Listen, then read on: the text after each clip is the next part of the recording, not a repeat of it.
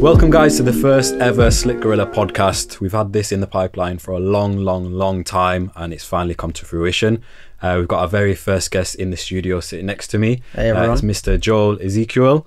How are you doing? I'm good, man. And yourself? Not too bad, not too bad. Uh, like I said, had this in pipeline for a long time. You're a busy man, uh, but we wanted to get you down as the first guest. For Slick sure. I feel I feel honoured, man. You caught me on my last couple of days in London, so Exactly. We'll get into that. Um, but for those who don't know, Joel is a barber um, and he's also what I would call a content creator. Would that For be sure. right? Yeah, so he's a content creator. He's got a very interesting story of the things he's been doing in the UK and in the US. Um, so, Joel, give us a little bit of a breakdown about yourself. Uh, a breakdown of myself. So I started working in a barber's at about the age of 12 or 13. I wanted to earn money, and my parents unfortunately wouldn't give me a penny. So I ended up sweeping the floor at, at a barber's, and uh, I learned how to cut hair a little bit there, just sort of like basic fading technique. But I mainly was there just to earn some cash as a as a young kid. Uh, fast forward, I would say 10 years, I ended up working in commercial real estate I- Okay. or commercial property, residential property, doing I noticed the real estate. I wonder Really, why you said American. I've spent too much Yeah. time in America, man. We'll get to that one. so property, commercial property, residential property, lettings and sales, and then I moved on to like senior lettings and sales as well, uh, selling like houses in Hampstead, Primrose Hill, like just really expensive houses basically. And then I became a mortgage broker after I left that. So I've pretty much done everything within the property side of Been things. around the block on that side. I think it's good to try stuff. Yeah. I, I think I missed a bit where I had maybe like six or seven retail jobs before I got into property. I've been there. Yeah, we've I think we've all been there, to be honest. everyone's done retail. I think it's important for everyone to do retail. I think if you do retail when you're young, it sets Yeah. you up as a grafter for the rest of your life. Oh, there's a. I would say there's a. we- I live near Brent Cross, which is in North Okay. London, Yeah, yeah. and the type of people that you get there is a. It, it, it grounds you as a person. Anybody and all sorts, pretty much. Yeah. Uh, I remember I was working in retail. I used to get those sorts that used to just come in for no reason, but to just waste your time. Oh, a million percent. Uh, yeah, I remember back in the good old days, I used to rack my brain like, what's wrong with these people? uh, literally. But yeah, I think we've all been through that retail stage. Yeah, Uh, definitely, man. Probably give you a good setup. Yeah, I think it, it grounds you and it gives you good structure as a person on how to deal with people. Obviously, I was in a sales job for a long time, and then mortgages again is sales, people trusting you, being a people's person. I think from a very young age, I've always been a people person. Like it doesn't matter which background that you're from. I've always liked being around different type of people, seeing their culture, learning from them. And uh, after my mortgage broker career, I uh, ended up leaving it because I didn't feel fulfilled. I was earning sort of like six, almost seven figures at a really young Wow. age Okay. but I got to the point where even though I was earning loads of cash, I was miserable and I sort of was like 20 between 21 and 22 I was like surely there there is something missing here Okay. to not feel fulfilled even with the nice watches the nice cars so I ended up leaving my job I booked a one-way ticket to Cambodia to go and travel Right. and whoa, meet whoa, whoa. people Cambodia. Yeah, yeah, right. Cambodia. That needs some explanation because that's. I was expecting a one-way ticket to like LA or maybe Australia. but Sure. Cambodia. So yeah, I had I had some savings saved up, and I just I was like, you know what? I've been to Thailand a couple of times. I've been to the states quite a few times. I was like, where's somewhere I haven't been? Okay. Um, but lo and behold, the day I was supposed to travel, COVID hit, Oh. and uh, my The flight. dreaded Got, C word. yeah, man, my my flight got cancelled during that time, and then I had to sort of figure out because I didn't want to get back into property because I was miserable, and obviously. The property industry, as I'm sure loads of people lo- lost their jobs. Blitz. I couldn't do anything, so I had to sort of sit and figure out what I was going to do. And within that two year period is where I came up with this American challenge where I started hustling and working. I ended up working for DPD and Amazon, Okay. 17 hour days Whoa. to save as much cash as possible for Whoa. this next trip. And then uh, I came up with the trip, which we'll go into in a little bit. And then that's how I ended up getting here. And in that interim of the last six months before I started, I retrained as a barber Okay. with Menspire Academy. Right. So trained by Sean Shout Moore. out Menspire. Yeah, yeah, for sure. so Josh LaMonica, uh, Gianni Cardinali, and Sean Moore were the three people that, and and Janelle Mensah, but Some, he uh, does some good, good barbers there. very good barbers. I've I've been fortunate enough to be trained by some great people, some really knowledgeable people, and uh, once I retrained, I then started creating my trip, which is called Cutting Through America. Cutting through America, exactly. So just to break down how Joel got here, I think I was the one that noticed you on TikTok. So as we all do, we just kind of float across TikTok. We end up spending about an hour on there, Yeah. just watching different stuff, and then you just stumble across different stuff. Some of it's absolute crap, Mm-hmm. um, but some of it you think, oh, okay, whoa, this is interesting. And obviously, your content kind of had that effect on me. Awesome. so I Appreciate think it. I passed it on to our marketing manager, um, and I think he reached out to you um, and then set it up. So yeah, it was initially that kind of more shock like content, natural, raw footage that kind of hooked me in. Um, and then the fact that you were British out in America, I was Yeah. like, huh? Because obviously, I think most people who are, who are looked at TikTok have seen Vic Blends. Obviously, Uh, listen, I, I rate Vic a lot. yeah, yeah. I know you do. Mention we met before, and you told me that he's, he seems like a really cool guy. Vic, he's down to earth, man. I know uh, Jesus is a big thing in America, and he's Yeah. very in touch with his spirituality and, and God, and I think people resonate with that. Mm-hmm. Gives them something to look forward to. Plus, he he really does like to give back to people, and I think the person that you see in the videos is the per- I haven't met him personally, but I think it is the person that you'd meet him personally. Yeah. And it's sort of like when people meet me in person, and obviously it's it's kind of nice when someone recognizes you from one of your videos. But Yeah. I hear the same thing that I am that same person in the videos as I am in person, and I think that's so important about content creation, just to be genuinely 100% yeah, I think yourself. it's being pure and being genuine, like you just said, and authentic. I think nowadays, because we're consuming so much content, it's, for me, it's quite clear when it's not authentic. 100%. Versus when it is, when stuff is super staged versus when it's supernatural. Mm-hmm. Um, there's a big divide there. Um, so yeah, get give us a breakdown over what the kind of whole America road trip Sure. exactly means. So after I got I got to backtrack to Cambodia a little bit. I wanted to travel in Cambodia and I wanted to film and do content creation there. But there's a lot the the market is very saturated for content creation and I think there are many good content creators but there's no one that's got a real niche that makes their life sort of difficult when they're traveling. And uh it was myself and my cousin that came up with the uh, idea. I love motorbikes. I love traveling, and I was like, where where on earth could I go that I could basically cross a border and it's like a different country? And where could I go where I could buy a motorbike or a motorcycle Yeah. and travel? And lo and behold, we came up with America. And I was like, the idea sort of came, what if I could only leave a state after I've cut someone's hair for like food, accommodation, and a landmark location? I was like, how crazy would it be if someone cut someone's hair outside the lighthouse, the White House? Yeah, and then from that that's where the that's cutting spawned. Yeah that's where the cutting through america trip uh, cutting through america trip happened in that whole plan.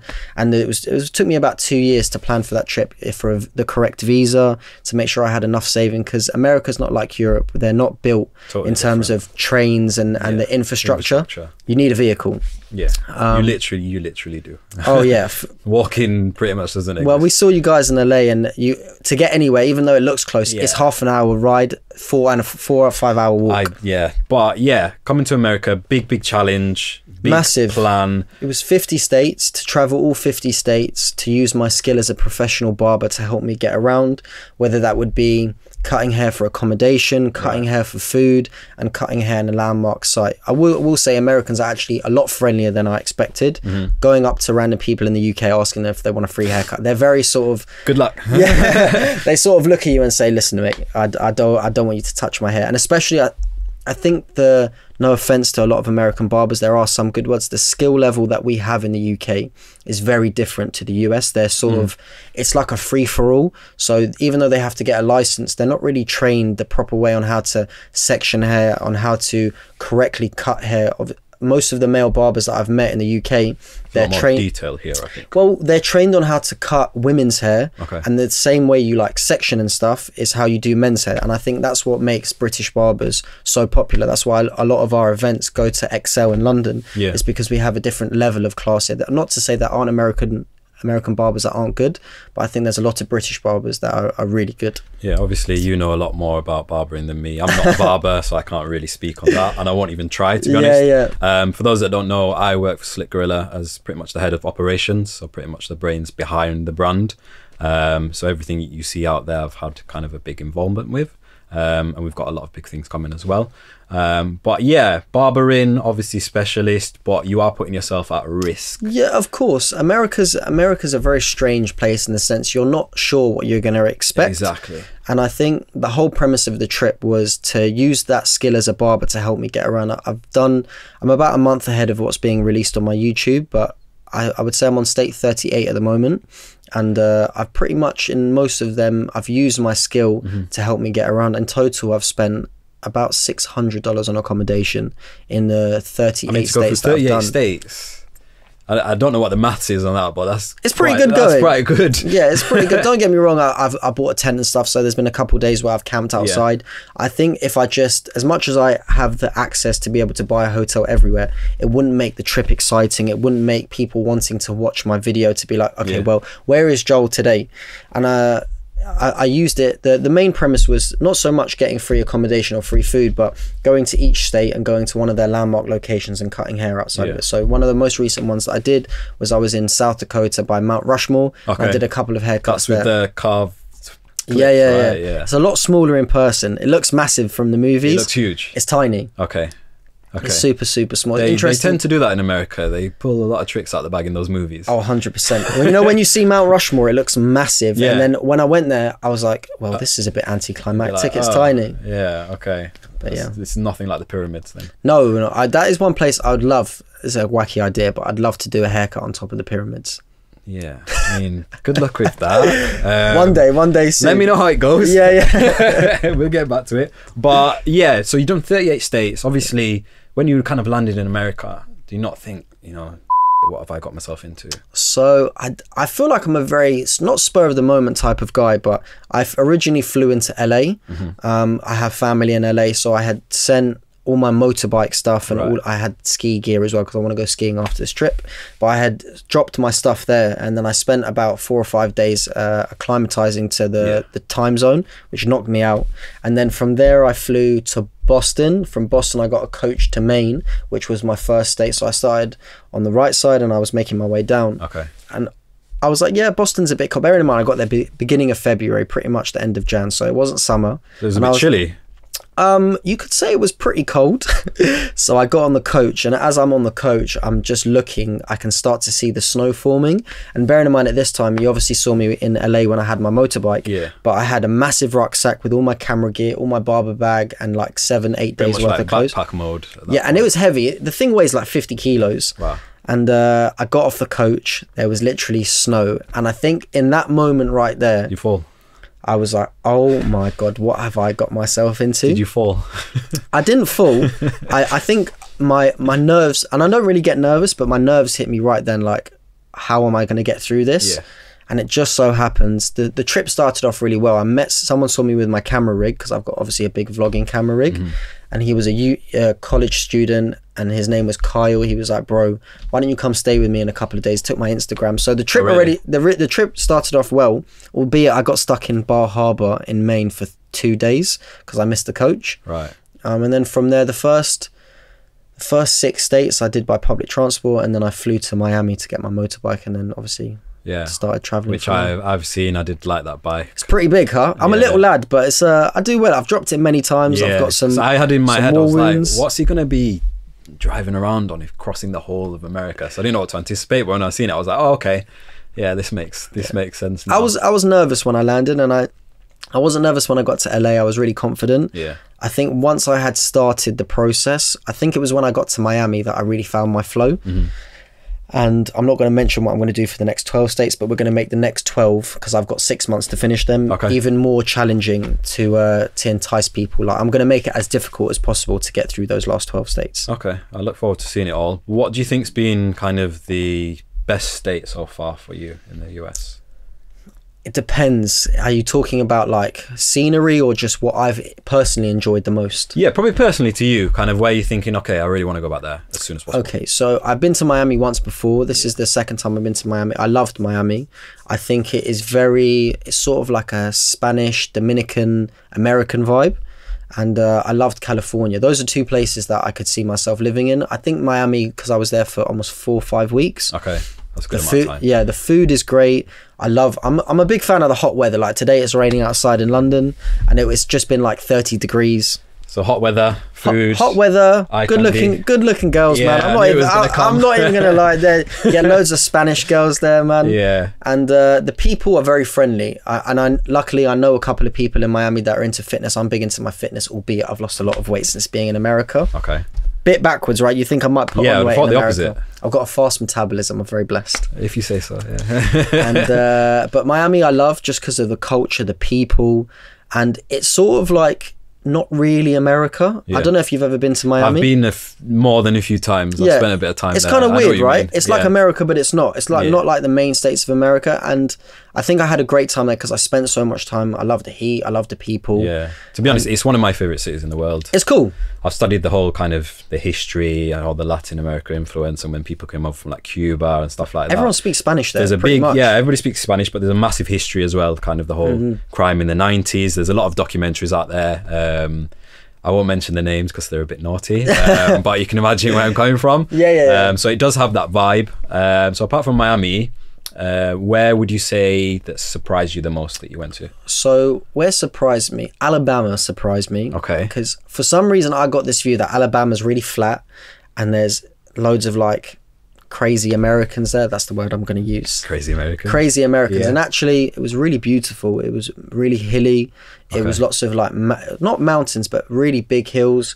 The people that I stayed with like gave me some amazing southern hospitality. Yeah. I went to my first like gospel church. It was like Sister Act. It was actually really That whole proper singing. Oh, they were proper singing, like, and it was a proper, like, it was like an event, like a concert. Yeah, I think they take it seriously there. Oh, big time! They're they're big into the the church there.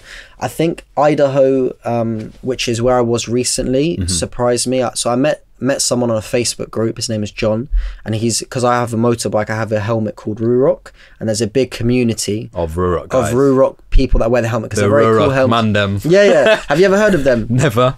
So I'll show you a picture after, but they're a helmet group, and he basically messaged me when I was in Miami, and I'd put a picture saying I'm on state seven, Okay. blah blah, and he messaged me saying, "Oh, you can come with me." He's a, he's an anesthesiologist, which is the dude that puts you to sleep. To sleep. Yeah. Right, do you trust this dude? Yeah, no, no, he was cool.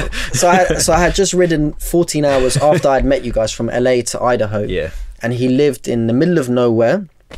Um, in Idaho Falls, but he was right in between the Glacier Springs, Yellowstone, and Jackson, which is in Wyoming. Okay. And I, because I thought there was nothing there, he took me around everywhere. He also rides loads of bikes, so I got to ride all of his super bikes around um, Idaho. And just that experience, I made a really great friend from that trip, all from some guy that owned Yeah. the same helmet as Friendly, me. right? Yeah, yeah, they're very friendly. You would never get that in the UK. I guess people, you know, they're interested in what you're doing as well. So I think that pushes them to be a bit like, all right, let me reach out. Yeah, and I give a haircut to everyone as well. But Yeah. like he introduced me. What happened on that trip is after the first day I went riding, my chain got caught in my motorbike, and Okay. I, I actually had like a bad road rash. The one day I didn't have Really? a my jacket on, and I was only supposed to be with him for a day or two, and I ended up staying with him for a week and a half while my bike was getting fixed. Just the sheer hospitality of this person that had never met me, like we still speak to this day, and I made a good friend from him. And it's and it's really beautiful, Idaho, because you're connecting onto Montana, Yeah. which is unbelievably beautiful, and Imagine Wyoming. the landscapes are just unreal. Yeah, most. I think I've got a new appreciation for how big America is because from one state to another, especially coming towards California that Yeah. way, it is literally like riding from the bottom of the UK to Scotland. Yeah. and there's nothing there. There's no. There's just gas, gas petrol stations. There's lit and, And just empty land. space. Yeah. that, that's what it comes no, we to. drove from um, Las Vegas to LA, uh, and then we saw it, and that's not even a big drive in terms It's of like America. three, three, four hours. Yeah, it's pretty hot like there. Four though. hours. Oh yeah, it was 110 degrees. It was it was absolute madness. Um, you could literally feel the hot air in your mouth. Yeah, It's yeah. like being in a sauna. Literally, uh, I'll never forget that feeling. Um, but America is huge. Obviously, we do a lot of businesses there. Sure. Um, thankfully, that our brand is really getting a lot of traction in America. Mm. Um, so I I speak to a lot of people in America on a daily basis, and they're all so different. You have to treat people in a different way, communicate in different styles. Um, so America is quite unique. Uh, very it's very we speak a different language i'll never everywhere that i go without fail i've still got a very strong british accent but when i go to um any like restaurant i say can i have a bottle of water they're like look at me like and then i have to say What you say? yeah and then i have to go can i have a bottle of water and they're like oh yeah yeah no problem i'm like Yeah, because I remember just things. earlier, about 50 minutes ago, when you said real estate, I just almost started yeah I've like, spent so much time What you on about real estate? because I say I say to someone, "Where's the bin?" and they look at me like, "What do you mean? Where's the bin? The trash can?" Trash can. Yeah, I think that's the typical one. Um, there's so many tomato, tomato. We speak a different language. Where's the lift? What do you mean? The elevator? elevator. Oh. It's like, yeah, come on, man. And it's the worst thing is it's English, isn't yeah, it? yeah. I think what happened is, is when the, the the war happened, they basically just came over and said, you know what? Let's just annoy the Brits. Let's drive on the wrong side of the road and let's just speak a different language. As you do. Yeah. As you do. How have you got on with that? Wrong, different side of the road. So, Uh, so any I'm- near misses? to be fair, I've had a truck almost hit me. It's because I'm on a bike, to be fair. But Yeah. I've I've they can't had see you. They don't know. I think for two states I rented a car because there was no coaches there. It was my first couple, but Okay. I feel like it's driving is driving. I definitely obviously veer more to the right hand side because I'm used to driving on the right hand side. But on a bike, it's pretty straightforward. You're just in the middle of the road. So Okay. it's, it's, it's pretty easy. So obviously you've kind of you're on the road by yourself. You're meeting people. For sure, yeah. But how is it keeping you know that mental focus? Obviously, because you're primarily by yourself, aren't you? Yeah. So how is that? So my mental focus. That's a good. I feel like I've got good energy. Yeah. in general.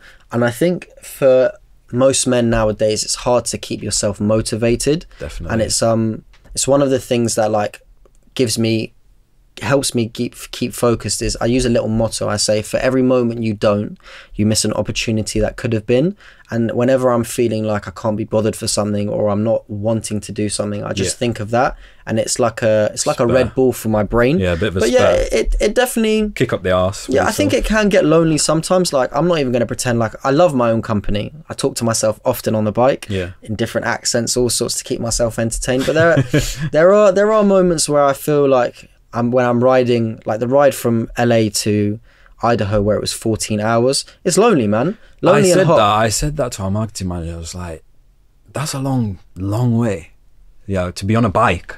Like if you're in a car, it's still a long way, but you're in a car, but you're on the bike. and I've so- got all my gear on boots Yeah. like kevlar jackets helmet it's um it can get lonely but i think i know that when i meet good people like the the people that you meet in each state define how the state's going to be Yeah. i know the one state that i didn't have anyone to meet which was in montana i still had a great time i ended up meeting an nfl star in the street and i cut his hair and i went to his ranch which was bonkers okay. um, but I met I, I you when you meet good people, it makes it less lonely, and I think it's important to to spend time on your own because it shows you what type of person you are. I think when you're Definitely. always I think that's one of the things as well that I've, I've found on this trip is spending time on my own has made me realize the type of person that I actually am because you don't have any distractions like when Yeah. my phone's off and all the social apps are off. Ton of self-analysis, self-reflection. I'm an awful person. I'm joking. Deep down. yeah, no, no, no. But it's uh, it's definitely made me realize that the type of person that I am and, and what I want to do, and and it it's helped me focus. In the sense, sometimes you need peace and quiet Yeah. to restructure it and find your. But it definitely gets lonely, and I, I think, think you're right with the Mm. peace and quiet as well, because obviously these days, especially with social media and just life in general, it's busy, busy, busy. you know, there's man. always something to look at. You know, to consume. We're a very consuming culture now, so I think that peace and quiet element gets a bit lost sometimes. oh. For sure, I think when my phone dies, sometimes it's like the best time where I can where I get twenty minutes to shut off. Obviously, Yeah. I'm in the social media influence now and a, a content creator, so my job is constantly being on the socials, checking stuff, videos. It, for me, I never really switch off. Like it's been kind of nice being back in the UK, where I get like a couple of days where I can just physically switch off. Yeah, Which has been kinda definitely. nice. Mm-hmm. I can I can definitely get what you're saying with that. Um, what's the most interesting story that you've kind of experienced while you've been in America or that's happened to you? Oh, interesting story. So there's I know you've got a few, but what do you think is the most interesting? okay so something like quite cool in an interesting like story as a whole. I was in miami. I've uh, i know someone here. His name is uh, omar. He runs a business called the fruit plug. So it just so happens when i used to work for dpd i met him during this job. And Right. it just so happens when i was in miami he was also in miami and he was also in la when i got to la it's like i've seen him all over the world and it's we've never planned anything it's just been a coincidence and then in Miami, I met someone called Starboy, and we did loads of content. So I cut his hair on the beach. Fruit fruit plug, Fruit plug, Starboy. Starboy, yeah. Okay. yeah. so they, they're, they're nuts names. It, it, it doesn't it doesn't even sound real. But I met these guys in America, and then they ended up seeing me in Los Angeles as well. Yeah. And we shot some content together. So one of the that was on my porn star video, the one that's done like seven Oh, million views. Okay, right. And then, uh, but that that that was pretty. Uh, that porn star one was nuts because I was on the beach. I was doing a. I'm big into like calisthenics and fitness. Yeah. And uh, I was just doing it, and I was like, I asked Starboy to hold my camera for me because it's a lot easier when you've got someone holding. Usually, I have a tripod set up, And then I was like, Starboy, I was like, just hold the camera and let me just go up to someone. He Just like, random. Yeah, yeah. So, and we were on the beach as well. And uh, he was like, nah, man, let's do it later. I was like, no. I was like, for every moment you don't, you miss an opportunity that could have been. So I had that in my head. I was like, no, hold my camera for me. I filmed your stuff because he's a, he's into big calisthenics and Okay. stuff. And I saw this geezer on a bike coming down. Looked kind of wacky. I was just like, oh, oh know what, I'll pull him over. So I said, excuse me, you can see this video after. But I, I said to him, can I stop you? And then as I was cutting his hair, after, before the police stopped us and they arrested me, I was like, "What do you do for a living?" And then he said, "Oh, I'm a, I'm an OnlyFans. I'm a I'm one of the top porn stars in the world." I'm and an OF dude. yeah, and I was sort of thinking, I was like, you know, when you think someone's talking nonsense, I was like, yeah, yeah, cool, whatever. And then he showed us, and I was like, okay, wow, Why he just just whipped his He literally phone out, I whipped his- imagine. it's on Twitter, so What did he show you? oh, he showed me some pretty gruesome stuff, but he showed it to me, and then I was just, I thought it was such a bonkers story, and then we were laughing after. I still speak to him now. He texts me every so often. When I was on GB News the other day, he was like, "Bro, I love it. Well done." Really? da, da, da." Yeah, so he's actually really cool. But that was just a weird story that I had. I stayed with someone in um Washington DC that was an ex-army veteran, Yeah. and he was telling me about the story how he was like caught in Afghanistan and that how he was getting shot at, and then out of all of a sudden it just stopped and they just disappeared. And I was like, "What? What, what do you mean it just stopped and disappeared?" They were like, "Everyone just it went dead silent and all the guys just went away." It was so they were in the middle of a war. what? Yeah, this is this is a nut story. And he was like, we don't to this day we don't know what happened. There was about ten or fifteen of them in their platoon, and he was when he was explaining the story to me, he was like, there was gunfire at us, and then all of a sudden the gunfire stopped, and then he was like, as they put their heads above like the wall, there was no one there, and to this day they don't know where they went, and obviously they got back to their base, and that was it. I think that was a bonkers story. So what? The enemy just Enemy just disappeared. into thin air. from from like aggressive gunfire, like bombs and guns. To this day, he's he must have been sixty five, but he said uh, 65 and senile or 65 and with it? I don't know. He probably could have said there was a flying saucer going across him, but from what it seemed like, he seemed like he was being pretty genuine. And to this day, he's even his wife was like, "No, no, it did happen." The multiple people in the platoon talked about it, and they still don't know, which I thought was kind of weird. Listen, uh, there's lots of conspiracy theories in Yeah. America, but there's been lots of I've had lots of good experiences, bad experiences. I know when I was at a restaurant, for instance my bike obviously you've seen it it's got my name plastered all Yeah. over it and some guy literally came up to me and uh, he was like bro your bike's cool cut a long story short i ended up chilling at his for the night and then i went shooting with him the next day went on his boats which was Oh, kind of crazy when i was in florida florida's a big gun state Oh, huge gun state. I was in a place called Ginnie Springs, Okay. which is like a natural spring. And uh, I asked these guys to hold my GoPro for me so I could get a bit of footage because obviously I'm on my own. Yeah. And then they asked me what I did. I told them. I ended up giving them all haircuts. It was one of their bachelor parties. And then they were like, oh, before you leave Florida, why don't you come to one of our farms and you can shoot guns? So I ended up shooting like 20, 30 different guns. They have never met me Just before. popping them off. Yeah, With Americans. the man them in Lit. Ginnie Springs. they were like they were like you can't film this they call it a bump stock which you know in america you're not allowed machine guns like fully automatic machine guns but the way a bump stock works is when it sh- fires it bumps and it like works as an automatic machine gun Okay. so there was loads of stuff that i couldn't film but there was and these like these stories they would give they would bring out guns that like ak-47s that were illegal it was Madness. it was nuts Madness. there's Absolute Americans madness. are very hospitable in the sense that I, I had this preconception that when I got there, Americans were going to be super aggressive, unfriendly. But Yeah. I would say in 37 out of the 38 states, Americans have been nothing but Been- friendly. Nothing but friendly. Spot on. Right. Mm-hmm. 37 out of 38. So, The one state, what's the one? this story still traumatizes me. So I, I use an app, app called Couchsurfing to get around. Yeah. um, which I told you about.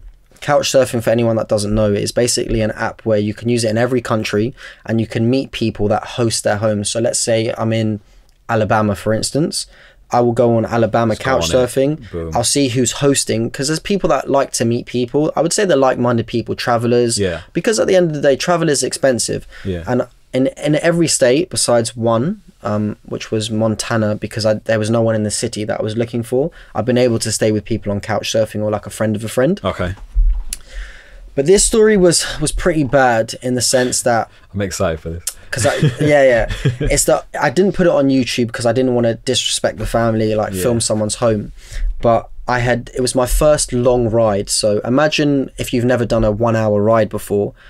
An hour feels long, but once you've done an hour, it gets easier. So this was my first seven hour ride. Okay, The longest I've done is is four hours until that point. So seven hours for me mentally feels long. Now that I've done fourteen hours, seven hours feels like a breeze. breeze, Yeah. yeah.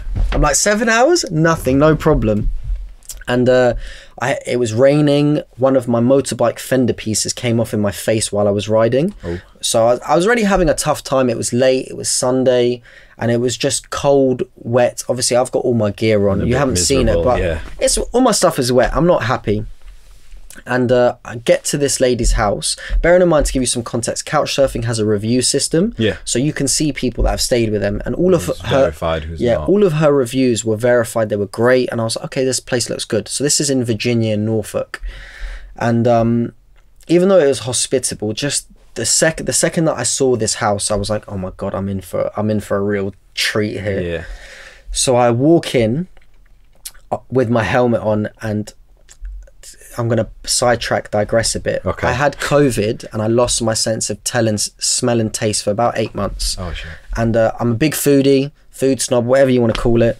And uh, I basically, my smell and taste has never been the same, but it's, it's pretty much back now. But at that time, this is sort of like March time it wasn't the same. So I'd open this door of this house and this this waft of like damp dog crap, Dog. Cat crap, Ooh. wet dog. It was so strong that I almost threw up. And obviously, you know where someone smells so, something so bad it sticks to your clothes. Oof. So I'd the fabric. Yeah, I had. Ah. This is one of my bad horror stories from couch surfing. Um, besides being roofied a couple of times, but that's another. I've been roofied twice out there. Really? Yeah, we'll go on to that story after. Bloody hell. And uh, so I walk in, I open the door, and the smell hits me. And then as I'm looking on the floor, there's wet dog, cat crap on the floor. Seriously. And and the the family were like, she had told me that she had four kids and the place was messy. Like I've seen pretty messy, but this was on another level. It was so bad Shithole. that yeah. I filmed it on my phone because I knew people wouldn't believe me. I think what makes it worse is this lady is an interpreter for the US government and she makes like 400 grand a year. She speaks 15 different languages. Okay. Something. She was a bit hippie. Weird. Yeah, she was a she was a big hippie. here. The the family were a hippie, but I got there she and I was I was so distraught at what I'd seen. Obviously, I'd been traveling. It was late. It was like nine p.m. at this time. I was like, oh, I was like, I can't deal with this. So I sat down. She was like, Are you hungry? I hadn't eaten from twelve p.m. and it's now nine p.m. So you're definitely hungry. So I was like, yeah. She was like, I made some mac and cheese. I was like, great. So I'll ignore the the crap, crap, dog crap, the wet dog, the the, the house that looked like a bomb had gone off. Is it mac or cheese or crack and cheese? What? I, you see how hard this thing is? She brought out this mac and cheese that looked like a brick, and uh, but before she gave it to me, I watched her drop it on the floor, and she picked it up with her hand. Yeah, so I picked it up with Mate. her. I picked it up with my hand, her hand, and then gave it to me. She obviously didn't see that I, I saw this. And then I was like, you know what? I'm, I'm actually fine. I just realized I had a Chick fil A. Bearing in mind, for anyone that doesn't know, Chick fil A is like a Christian company. Sunday, they're shut. Shut, yeah. So I hadn't eaten that day for like 24 hours. So in the morning, I like got up. This is where the story just gets so much worse. So she was like, let me give you a tour. worse. It gets worse. so she was like, "Let me give you a tour of the house." I was like, "Yeah, no problem." So she took me upstairs, and this bathroom that she took me in looked like something out of a horror scene. There was pee on the floor. There was there was a bit of poo on the corner. The shower looked, and it was it was crazy to me because I was just I was like, "How can you invite someone into your home Yeah, like this?" and it's in that state. Like what? Yeah, yeah. What? What? Like what's going on? Uh, yeah, so that that night, I, after everyone left, she had guests. I went to sleep, albeit it was a very short sleep. And then in the morning, they were the daughters. She had three daughters and two sons. They were going to Comic Con. Okay. One of the the daughters uh, said, "Could you give me a lift on your bike?" And I was like, "Listen, if you've got a helmet, I don't have a problem with it. Sure." But the other daughter, I'm not sure if she was all there, but this is oh, this. so she looked at me dead in the eye. She was a bit very upset that she couldn't take me, that I, I wouldn't take her because the night before she was having like a, a breakdown or something. It was it was a bit much. From bearing in mind, I've only been in there twenty minutes when this girl was having a breakdown. Okay. So the next morning, she looked at me. She was really upset, and the only way I can describe it is I have to reenact it. But she looked at me dead in the eyes. She went. She What? Put, she put her hands behind her trousers. She touched her hand, sniffed it, and she went, "Oh, I've myself." And I was just bearing in mind I've been in there like less than twelve hours. So uh, I've sat, and I'm I'm at this point I'm distraught. So I was like, you know what, Are you serious? bro? Honestly, I filmed the whole thing, which I'm not gonna put on, but I can show you after.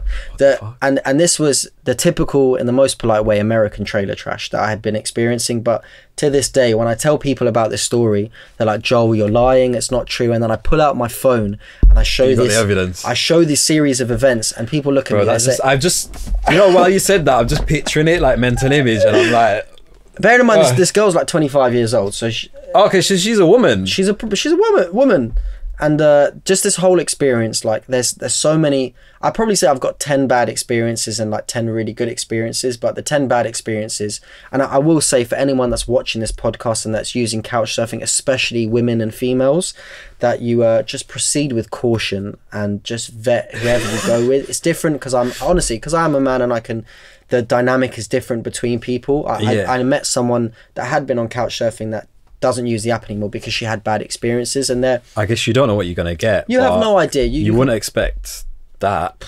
that's that that's not that's a bad story but that's not even like that i think that's up there with one of the worst stories but there's i've been roofied twice from couch Yeah, surfing That's crazy. which is that's which is crazy. nuts those are some good stories for you But yeah, crazy stories. Um, we give a shout out to is it Starboy? starboy Yeah. and, and fruit plug And we probably on Fruit Plug. We'll probably throw one of the clips from that video with uh, yeah. your special friend up for everybody to see. yeah for sure Excuse me, bro. Can I offer you a free trim by any chance? Okay. Yeah? Okay, yeah. a trim, man, a trim. And it's free. Hell yeah. Yeah? Awesome, bro. you. If it's good, I'll tip you. What's your name? Andy Savage, bro. Andy Savage. I know Andy Savage. yeah, nice to meet you, man. A zero all the way, yeah? Awesome, man. Let's do it. Wait, how long you been growing your hair for? Four years. Four years. That's pretty good. Jesus. Well, I'll do my best not to cut it off, yeah?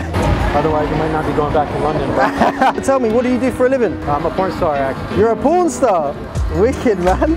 What made you want to get into that? If the shoe fits, you should wear it, right? If the shoe fits, you should wear it. I love that. If you're good at something, don't do it for free. You on like the main websites or you on OnlyFans? Yeah, yeah, everywhere, man. X videos, number one Oh, that's mad. on there. Pornhub, OnlyFans, everything. What's some mad experiences that you've had? Yeah, there's a couple bad stories, bro. Like, you know, weirdos trying to track your IP address down and stuff. Oh, really? Jesus, that must be hectic, man. Yeah, that's alright. All right, Joel. So I'm treating you to one of our Slick Gorilla Tropical Jungle Cheers, hard seltzers. Cheers. Um, just for everybody to know, you can pick these up through Arrowtown's website. It's a collaboration we did with them to create our own hard seltzer, they call it. Um, it's a big thing in America now. It's taking Mm. over the UK. So it's basically just like a sparkling light alcohol. It's quite fruity and quite nice. they, they love them in america Mm. I think it's um, Steve will do it. Um, he's really, really big on YouTube. He's got his own brand. I think it's called Happy Dad. But moving more into kind of what's happening in the world, because we spoke about Barbary and spoke a little bit about you. spoke about my story Yeah. all that good stuff but I want to know your take on a few things that's Hit me, man. right now. Um, so I think first things first, man like AJ, anthony Um, joshua my, got- my boy from watford your boy from Watford got punched up again. he did he got mashed Uh, what's your thoughts? Tell us. Do you know, I, I, I really like Anthony Joshua. I think he's a good influence for young people. I think I want to see more of the Anthony Joshua that's from Watford. I, I'm not sure. Roadman. I want to see the roadman. Yeah. He's he's not he's not a posh boy, and I think He's that not. comes down to authenticity. Maybe because I shoot a lot of content, I can see when someone's being authentic. I think the only time we got the a- authentic AJ is when he was pissed that he lost, and he went in the belts and he started ranting like a madman. Well, yeah, you know, when he's just full of adrenaline, you know, Yeah. people were saying, oh, someone should have stopped him, but I, I don't think anybody really could. That kill he would killed them. yeah, even the only man was probably Usyk that could have stopped him. And he's like, go ahead. He said, "I feel, I very feel." yeah, yeah, he doesn't even understand English properly, so he doesn't Yeah, know yeah. what AJ is saying. He's probably thinking, oh, he's apologizing for the loss or something, but Mm. Yeah, he wasn't really doing that. He was just going off on one. I'm I'm upset with AJ because I know that he could have beaten him not easily. You but think?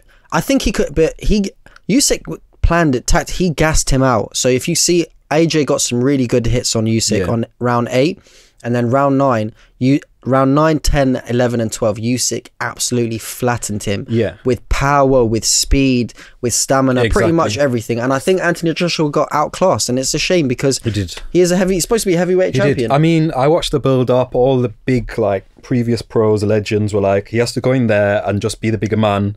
Um, it should have been like a big brother versus a little brother, where the big brother's saying, you know what, no. Um, even though the little brother's a little bit faster, a little bit more crafty, the big brother's still just going to pound him and put it on him. But AJ didn't really do that, and I think he just left it a bit late. And then strategically, Usyk was like, "Okay, I'm going to let you use your energy in the eighth round." Hundred percent. And then AJ obviously went for it, got super tired, and then yeah, he just got knocked. AJ could have finished him within the first six if he really wanted to by being that old AJ. yeah, being that fought- bold and caution to the wind. Yeah. I think people would have preferred that if he lost in that manner, where maybe he was bold, caution to the wind, but actually got clipped and knocked out. He, uh, I want to see the Anthony Joshua that fought Dillian Whyte. Yeah, That's the that's the Anthony one Joshua that that everybody wants to see. It was, it, was- that, That guy. That, that was that was when Anthony Joshua was still up and coming. He was still aggressive, and he was confident enough to be like, you know what, I've got nothing on the line here. I'm just going to fight you and just be the man. Yeah, and just throw throw it all out there. 100%. Um, so what do you think's next for him? Um, I think Anthony Joshua needs to take some fights that are going to show that he's still a good fighter. Yeah. Otherwise, he's going to fall off a bit like jo- Joseph Parker and Andy Ruiz. And um, Andy Ruiz is yeah, he's and and do you know what? Anthony respect him for winning. He got Yeah. he he outclassed AJ, but Andy Ruiz let the fame go to his head. Anthony Let Joshua money go to his head Yeah, as of course, man. He made a lot of money from that. I think Anthony Joshua needs to take some good fights. To be honest, after seeing how he fought, Deontay Wilder and Tyson Fury would both whoop him easily. I think I want to see Anthony Joshua fight some people that may. He, I want to see him fight Dillian Whyte again, man. yeah. I think because Dillian Whyte's a bit more. He's he's figured out his class a little bit more. I think he's coming to himself. He's more refined now, I think. million percent more refined. I think AJ needs to be fighting a bit more consistently. Yeah. Not so much bigger gaps. I like that when AJ was coming up, he was having a fight like once every two or three months. Yeah. That's what he should be doing. He wants to be should be an active fighter. The only thing I would say about that is I feel they would just pick and choose in saying who who should we get AJ to run through next. You know, who doesn't really stack up to him. yeah. Because there was a lot of, you know, I think Carlos Takam and then there's I think Charles Martin, just guys that you know he's gonna beat easily. I'd want him to see him fighting, you know, someone known like Joe Joyce. You Yeah, know. Joe, that, any any of those boys that are going to give him a proper challenge. Yeah. that's what he need. He can't. You no can't go. belts, no nothing, just He's he to be fair, fair play to him. He has fought a lot of great fighters, and I think he needs to continue fighting on great fighters. Yeah. And you can't, he shouldn't, he shouldn't stray away from an, a hard challenge because he's had two losses. And I think a lot of men's defeat can come from their their greatest challenge, and then they can become very strong again. Yeah, that's true. So, I mean, we'll see. I think the next kind of six months are really important in the guy's career, um, just to see what route he goes down. Um, I think some people have said, you know, he might as well retire now. No, no, no, no. Um, he I- is rich enough to retire now, but yeah, he, he but I think he can now look at things with a more of a perspective. It's not really about money anymore. Um, it's about you know what do I want to do. I think those know. belts are a distraction for him. Hundred percent, hundred percent, and I think sometimes the paycheck is a distraction as well. Look at Conor McGregor. I rate him as a fighter, but he made so much money. He's lost the fire in his belly. AJ's like as much as he's great, he's lost the fire.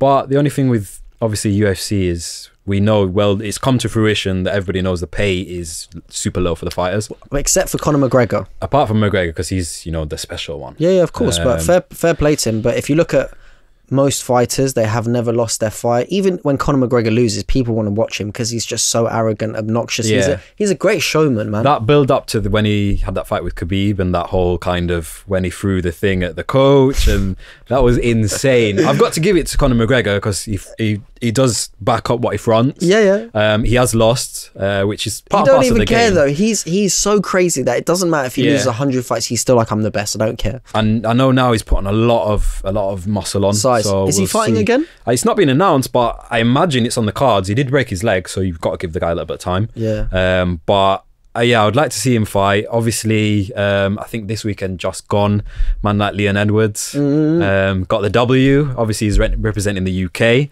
That was a Um, crazy So yeah, knockout. shout out to him. Um, I w- I watched the fight afterwards on the highlights. He stayed in there. Um, he didn't let that Usman guy dominate him too much, even though it looked that way. And then yeah, he stayed in it. So It's clean. It was a good fight. yeah, and head kick, Boom. Boom, KO. Um, so yeah, shout out to Leon. Uh, is it Edwards? Leon Edwards. Mm-hmm. Um, and then also Paddy, um, who reps Slick Gorilla. Uh, he should be fighting soon. Paddy's a great fight. Pa- Paddy's Paddy's like going to be the next Conor McGregor. Yeah. Because do you know why he gets so much attention? People think his hair's nuts. He looks.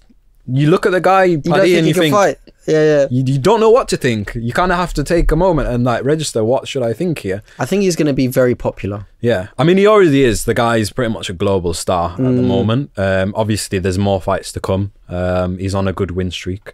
Um, so I think everybody's really excited to see what happens with Paddy and also um, Molly as well because they're from the same gym.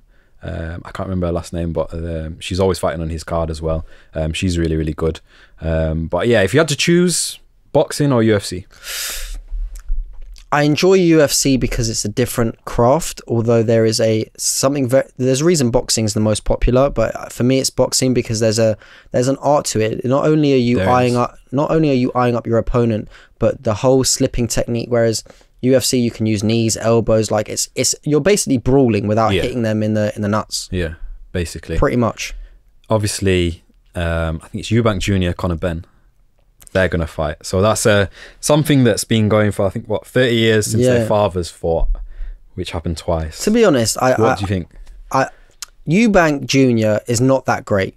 Okay, like and to, but you know the thing is i just love watching his dad his dad is the fu- his dad is the funniest His- person yeah. to watch His the, dad the light here legend. is stupendous just like he i think what he's done is he's found a thesaurus and he's just used a couple of different words Yeah. so watching the i just enjoy watching chris eubank his dad yeah, um he's a i'm legend. not i'm not sure who's going to win that fight i think i've watched a couple of chris eubank junior's uh, fights he's very fast but he lacks power do you think?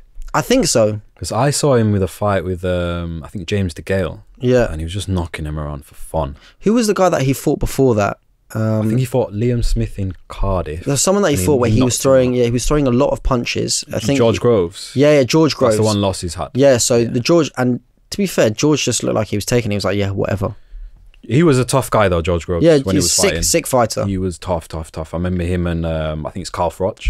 They had some proper, proper Yeah. tear ups where it was like, I was like, whoa. He's quite. He's very humble though. Like uh, out of all the um the fights I've seen, he's like, listen, I'm going to beat you, but he's never done it in an aggressive manner. Yeah, I think his fair. dad's his dad's brought him up well to be humble about his losses Yeah. and wins, and I think I think it's important for all fighters to have a loss because it will show what type of man they are to win, come back from it. I think this loss, backtracking to Anthony Joshua, I think it's going to be good for him, man. I think we You might finally see the Anthony Joshua that we deserve.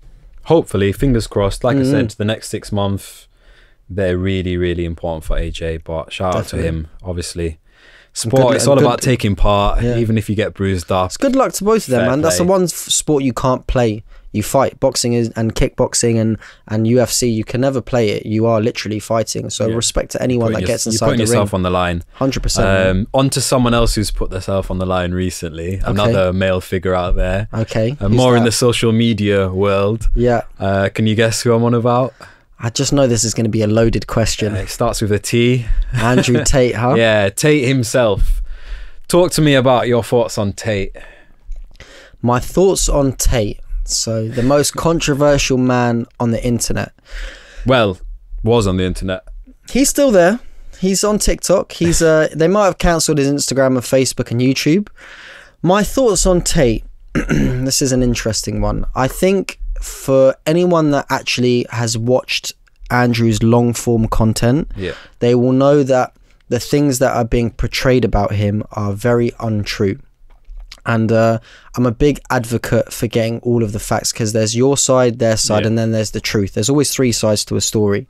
And I think it's important to educate, for everyone to educate um, themselves on And a person. what the context is. What's Of on. course, at the end of the day, Andrew is uh is not making these TikTok accounts where th- they can take a clip that's 10, 15 seconds long and they can chop it into whichever manner of way. I, I know I, before I did uh, the GB News, I was on a show called Rich House Poor House, Okay. where I know that they could literally take a segment of a minute clip and they can put you in a complete, completely different light to what's actually being said. Yeah. So my views on Andrew Tate is that I respect the man for his success. As a man to be successful, to have the drive, charisma, and passion to be successful, to be a multimillionaire is extremely difficult. Mm.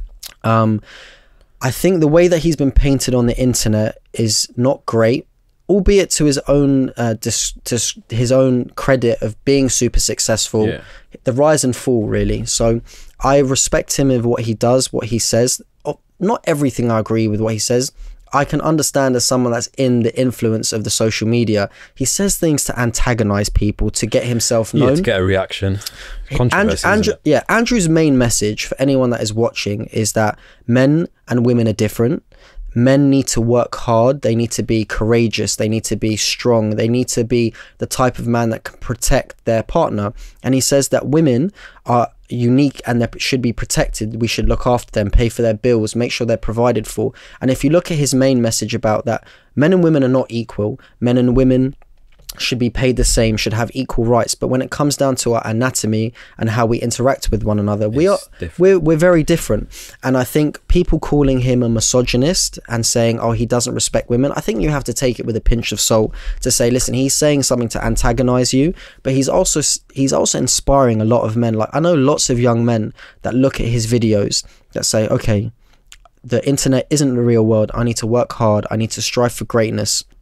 also to Andrew Tate's when he talks about controversial stuff like it's not cheating, it's exercise, and when he's talking about high class men, he's talking about the one percent of the population. Yeah, the one percent of the one percent. the one percent of the one percent. And listen, I hope that any man watching this can be that one percent that should strive for greatness. Uh, I don't think it's right that they um that they cancelled him off, and I think it's making his point more prevalent that what he's saying is true. Because when they cancel someone, it's usually because they're saying things that other people don't want them to hear. Yeah, I mean, it is a tricky one because there's so much that you know he said. I think a lot of the time he did it, you know, to get that controversy, to stir the pot, you know, and that's what trends on social, isn't it? But I think you're right. People they do need to look at the full picture. Um, For instance, I'll give you an example, just something because I, I I obviously have to spend a lot of time on social media. yeah, There was a video of him going around of him hitting a woman where she was like, no, stop, whatever, blah, blah, blah. And TikTok cuts it as her crying, and that's it. There's another guy, what's his name? His name is Daz, that did like a hate video on Andrew, and he cut that video of just him hitting. But then, not even three minutes later, when you see the entire clip, she basically says, Are you going to hit me properly this time? And he says, Last time I hit you, I got banned on the internet and the news think I'm a woman beater. She was like, Well, she goes, If you did it properly, you wouldn't be called a woman beater. So that, that section of the clip completely changes Yeah. the narrative. On, Yeah. on it, which I think is is sad for him. So the research that I've done is that listen, I'm not saying Andrew is a perfect man. I'm not saying that he hasn't antagonized, but do I think he's a misogynist? Do I think he should be cancelled? No, I think he actually is very good for lots of young men to inspire them to strive for absolute greatness. you know what? There's an interesting part about him is you know he was on Big Brother. Mm-hmm. So you know when I learned that, I was like, okay, that's a bit interesting. So I'm thinking, you know, has he always wanted to get his face there and be that star? And because obviously you're going on Big Brother, it's kind of for your face to be seen, isn't it? I think he understands, especially, and I understand it as well. And it didn't work well for him on Big Brother as well. Well, they removed him from Big Brother, Yeah. from my understanding, and I could be wrong. I'm, I'm always happy to admit that I'm wrong, but they removed him from Big Brother because a couple of the people were trying to start a fight with him. Yeah. And obviously, Andrew He's is a, a professional kickboxer, kickboxer, yeah. so it's like saying they were they were worried for the safety of the other people, not Yeah. him. Um, but yeah, that's, I heard that as well. I don't know if that's the hundred percent truth because, Mm-hmm. as with anything, you just don't know. Like, that's the biggest problem now. I think with social media, you know, you go on TikTok, you, you hear so many different things. You don't know what's the truth and what's not. Because you know, the first video I get that pops up on my feed is like, "Oh, you should be an Amazon FBA seller." You know, I'm doing ten thousand dollars on that Amazon FBA. It's fake. And I'm like, first of all, I don't need to know this. I don't care. Second of all, where's the proof? You know what I mean? There's Yeah. you can say anything you want on there and there's no validation, there's no like references, there's no checks, there's nothing. I think it's super dangerous, especially for the younger people who are a bit more impressionable, who would, you know, maybe just believe a lot of this stuff they hear. Yeah, well, I think Andrew, obviously on your Big Brother point, I just have to extrapolate what you said. that Andrew understands that life comes easier with status, Yeah. and men we desire status. Yeah. So if for for women when they want their man to be more successful, how can you make your man look like his status is higher? I think he understands that in the day that we live, status it means a lot. Yeah, it has some clout to it, definitely. hundred percent, man. He he gets that uh, foremost. What do you think about OnlyFans? Obviously, the guy that you met out in Miami was Mr. OnlyFans. What do you think of that now? Because obviously, that ties very much into social media. What do I think of OnlyFans? I think we're moving into a an unprecedented unprecedented time of um, human history where everything is so easily accessible with a click. Um, my thoughts on OnlyFans is I have pros and cons like I do with anything. Yeah. I think the majority of OnlyFans is obviously porn. Let's not let's not get into it. Ninety nine point nine nine percent. Yeah, and there was a video of the OnlyFans, the guy that owns OnlyFans. He was like, "Let's remove everyone," and then he didn't realize so much of the percentage. He's actually from the UK as well. Yeah, yeah. yeah. Do I? I think. Listen, I think it's great. Um, I also think it's not great because porn. Really, I'm not a porn man myself. Straight up, I don't really watch porn. I think it dilutes your mind. It, it, it separates Neither you. am I. I feel like I need Yeah. to say it. Otherwise, Yeah, people yeah, be thinking, "Oh, he hasn't said anything. He's definitely a porn I'm- guy." I'd, I'd be lying if I said I've never watched porn. Of course, that Oh, is complete. That's complete bullshit. But the, the truth is, is that I don't watch porn because I know it's it's not real. And I think, imagine you've got, like you said, kids are very impressionable nowadays. Imagine you've got Super. 12, 13 year old. Like I remember talking to my cousin about it. Like when they had to watch porn back, they had to plug it in the VCR, rewind it, make sure it was back in the same place. So their parents, yeah, it's a lot of effort. Whereas now it's it's one click, Click away. button, yeah. I think OnlyFans is is great because it's helping lots of women create lots of income revenue, and women understand in the most polite way, pussy is power, straight up. That's the truth. And yeah. um, the- sadly, that's the it- truth. it- the- as, as much as people don't want to admit it, women understand that they they, they hold a power over men, and um, the my my view on it is that it's great, but I, I'm not. I would never be on OnlyFans myself because, and I don't think I could ever date someone that was on OnlyFans because it sort of leaves that point of like if you're showing all of that to everyone, yeah. what is else? left What's for me? Yeah. And I think There's no value to it. not it's not even value. And i think there's when intimacy is, intimacy is such a big thing and if a woman is showing everything on the internet for just every man to pay it sort of it makes me think in my own personal opinion is there anything left for me besides maybe emotional spirituality or whatever it may be? And, and it makes me think it's funny i was having this conversation with a chick the other day.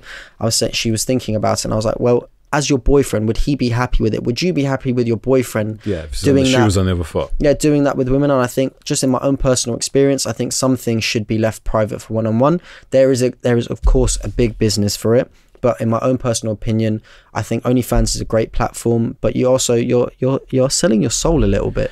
Yeah, I agree with you there, especially selling the soul. Um, Mm. Obviously, it's every individual's choice, isn't it? Of course, Um, listen, I would never I would never hate or in the mo- in another way, I would never shit on anyone that does OnlyFans. It's your business.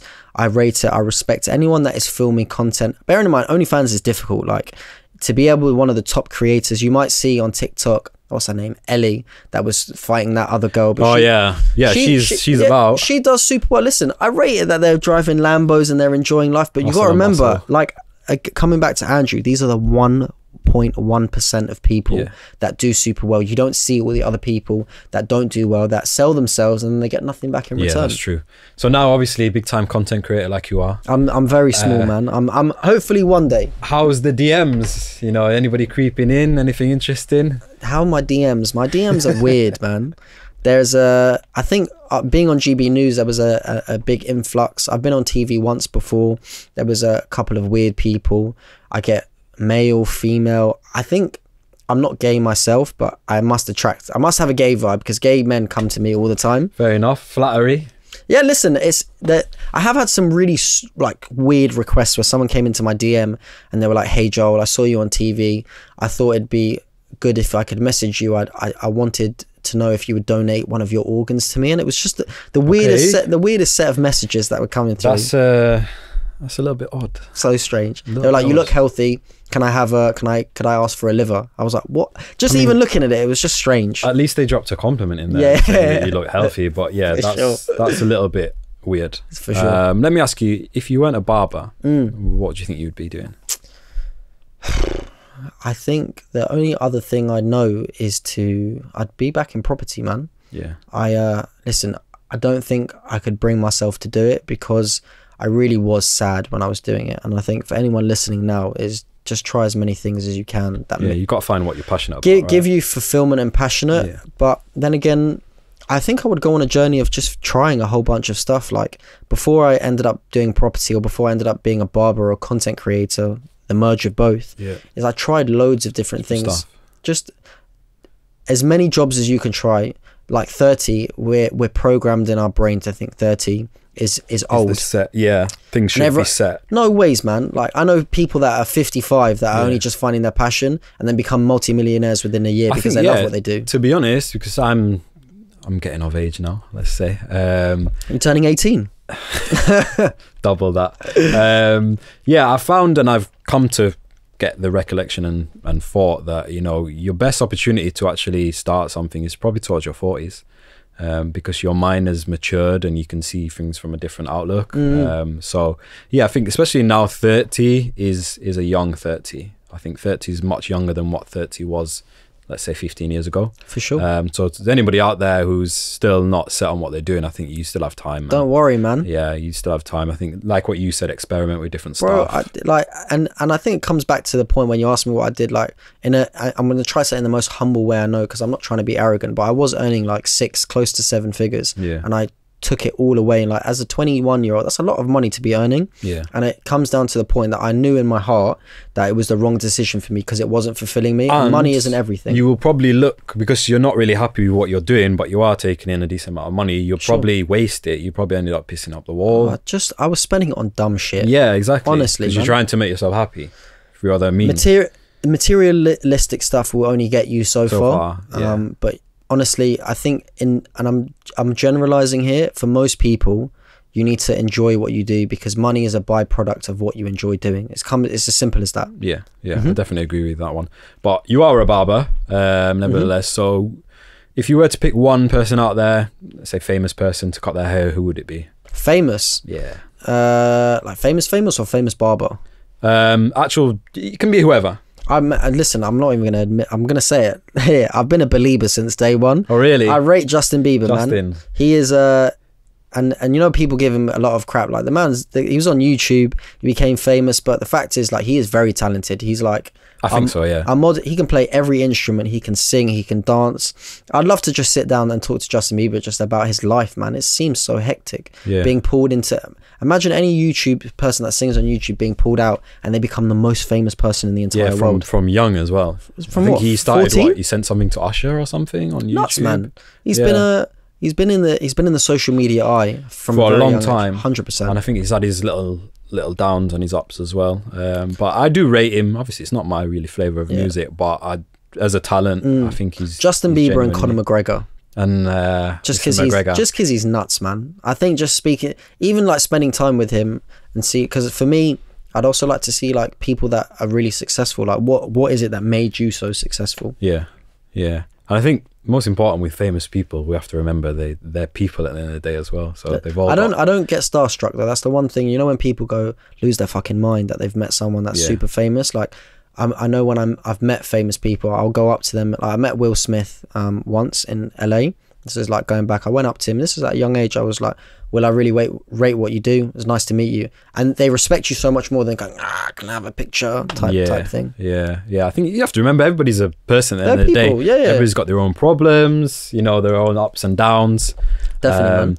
So yeah, what I'm gonna do now, I'm gonna ask you some quick fire questions. Quick fire okay? questions. Yeah, So nice. I'm ready. easy. I'm ready. I need to. sit So you just one. need to pick one or the other. Okay. So we'll start off with UK or US. UK, I like that. Uh, Vegas or Ibiza.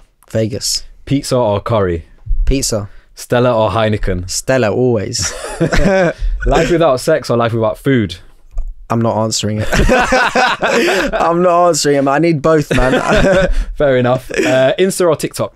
uh, Instagram, Ooh, controversial. one. TikTok. Uh, TikTok is is screwing with our minds. It's, it's I've noticed it with myself. I can never watch something more than like 20 seconds. I'm even trying to skip Netflix now, so I've, I've had to pull myself off TikTok. My attention span is not the same after Yeah. TikTok, whereas Instagram is doing the same, but it's a bit more slow Slow paced. place, yeah. I think Yeah. TikTok's We digress. Game. Um, summer or winter? Summer always. Yeah, me too. Night in or night out? Uh, night out, Blondes or brunettes? both. Boxing or football? I know the answer to this. Boxing, boxing. Um, early bird or night owl? I am both interesting. Both. Nice. Uh, love or money? Combination of both. Ooh. But you know from my story, it's love now. yeah, there used to be money. Yeah, it's definitely love. Drake or Kanye? Uh, mm, Drake, Drake. Okay. Tupac or Biggie? Biggie, House or hip hop? House always. Um, Slick Gorilla or Slick Gorilla? Uh, neither. He's joking. slick gorilla, guys. Slick gorilla. Get him out of here. Always, always. Cool. Um, let me ask you, what would you tell to a younger version of yourself? Are you stealing my questions? Yeah. Yeah, a little bit. Yeah, because I knew that was one of yours. So it's right in there. What would I tell the younger version of myself? I would say be true to yourself. Don't be scared about getting bullied because I used to be bullied in school. Um, so I, I short backstory. I used to do YouTube when I was like 12, 13 Okay. and I got picked on a lot at school Oh, really? and I stopped doing it um, because I didn't want to get picked on. And I'm not the tallest lad in the world now, but imagine I was like super short. I had braces, like I was really skinny. I couldn't defend myself. This is before So I thought. stacked up against you a little bit. Yeah, the the odds were stacked up, and I, I felt like just doing YouTube and people laughing at me, I, I couldn't take all of it. Mm. I think now being older, I've found some mental resilience to. I don't actually care what anyone thinks about me anymore, so I'm just gonna do me, and as long as I'm happy, that's all that matters.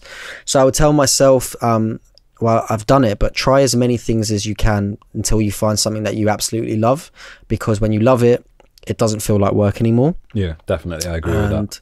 yeah just keep be be true to yourself be 100% authentic and don't chase or don't try be the big man i used to have small man syndrome 100% where i was trying to like be someone i wasn't but now i'm at that age now and i think this is from the age of 21 where it's gone and i just i'm very humble i don't need to have all the bling jewelry nice watches Yeah. i'm just myself you either take that or you don't Yeah, you do you. yeah man What do you think the next five years looks like for you? The next five years, I um, even though I, I, I do believe money is not everything, I, I would like to be a multimillionaire, Okay. and I would like to. I- I believe that money is a byproduct. Money just enhances who you are. So if you're a prick without money, you're a prick with money, and I think before. it's a good way to put it. Man, I, I before I was when I had money, I, I was a bit of an asshole. I, am not even gonna lie. Um, I think now I've, I've become more humble. I've found true like spending time riding that bike has, has made me realize who I am. Yeah. I think money allows you to have choice. So I would love to see myself. I feel like I'm. I should be in the social media eye. I feel like I'm good on good on camera. I'm trying to say this humbly, you know, but I feel like I'm I'm good in front of camera, and I, Yeah. I like making people laugh and smile. Um, whether that be on a TV show or in the social media, I feel like that is definitely my path where I want to still be involved. I think in, definitely if you in can camera. know your strengths, Definitely. you know that can always be a positive thing. I- I- 100%, I, man. believe that. Um, okay, cool. So we'll come back in five years Five years. and we'll do a little review. I'll be the world's best barber, most Yeah. likely. Okay, that's The a big- big, the- big aim. the the biggest barber. I feel like I, if I feel like with the right um platform, I feel like I'll be bigger than Vic because I think I'm more authentic than Vic. Okay. Vic. I want to know. Obviously, a lot of people, especially nowadays, aspire to be a content creator. They want to be on social media. You know, they want to grow their following. Yeah, Um, influencer. Although I do think that's kind of fizzling out a little bit. It's going more towards content creators. What advice would you give to those guys? about wanting to be a content creator. Yeah. So I think I've been very fortunate that I've had a content creator around me. His name is Simon Wilson. You ever see the geezer that snuck into the Conor McGregor Simon fight? Wilson. I've been watching him from day one. You know. So Simon Day Wilson. one. Did you ever see Jason that created his challenge of throwing the darts onto his America The challenge? bald guy. Yeah, yeah. Yeah. So Jason is my first cousin. Oh, really? He's also the guy that came up with the idea for my cutting through America. Right. He's the one that came up with a lot of the ideas for Simon's content. I didn't even know that because I've been following genuinely that guy from Yeah. day one. Simon's my boy. like one point challenge. Yeah. Um, you know, doing the McDonald's thing. Yeah, yeah. because he did the whole of America. So he yeah he came across it with the darts. That's how he got across. So that idea came from my cousin Jason. Simon is a very good friend of mine. He also used to work in property. I knew him before he had a penny. So when he was fighting me in my uh my flat for sweet potato chips, like I've known Simon before he had a penny. Okay. And now that he's got lots, like he he gives it out and he's very he's very humble. He's the same person that you meet. So Simon's massive view is you got to do what you love. and You got to be 100% authentic. So for any new content creator out there, number one you need to find your niche what is it that you enjoy doing and what is it that you want to do and then once you do that run with it and i think it's taken me a little bit of time if you look at my first videos on they were food reviews and then i did a dpd thing and then an amazon thing and I tried a whole bunch of stuff before I figured out what I wanted to do. And for anyone out there, young, old, it's okay to make mistakes and it's okay to failure because your Yeah, failures definitely. are what create you. And anyone that is scared of falling or failing, if you look at anyone that is at the top, they failed a thousand times. Controversial point. I know people don't like Donald Trump and that he's got loads of like bad businesses, but that man has failed a lot. Andrew Tate, Tate's failed a lot. Anyone, Bill Gates, um, Jeff Bezos, any of these boys that are at the top. Failure Yeah. is an important, especially for men. It's important to failure, and it's okay to be upset with it. You just have to pick yourself up and get back out Yeah, there. I think there's nothing worse than you know saying later on in life, "Oh, I wish I would have tried X," or "I wish I would have tried Z." Um, 100%. I think it's just important, you know. Just do you, man. Just, just, yeah, to just give it a go, there. even if it's a, a small idea, a silly one. You know, I will just say try it. though, a caveat to that is for people out there, don't be a sheep and don't start doing TikTok dances because you think it's going to get you views. Because at the end of it, you're going to look at it and feel like you've mugged yourself off. Just do something that you actually enjoy. Yeah, Don't don't be a sheep. That's Yeah. what I will say. don't follow the herd. Hundred percent. Um, be a pilot, not a passenger. That's You're, you're, one. it's it's your train, and you, people can get on and go, get off, but you need to know that you're at least going in the right direction. And sometimes on your train, there's going to be things that get you off track. You need to figure out how to veer back on track. Yeah, definitely. All right, let the people know, obviously, how they can follow you, keep up with your journey as well. Sure. So, for everyone that doesn't know already, my name is Joel Ezekiel. I'm a North London uh, barber. So, if you want to follow me on TikTok, my TikTok is Joel A Ezekiel.